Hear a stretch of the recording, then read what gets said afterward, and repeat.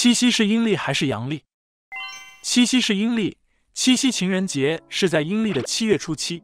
七夕节既是拜祭七姐的节日，也是爱情的节日，是一个以牛郎织女民间传说为载体，以祈福、乞巧、爱情为主题，以女性为主体的综合性节日。七夕节的饮食风俗各地不尽相同，一般都称其为吃巧食。七夕乞巧的应节食品以巧果最为有名。巧果又叫乞巧果子，款式极多。乞巧果子是七夕节的传统祭品和美点。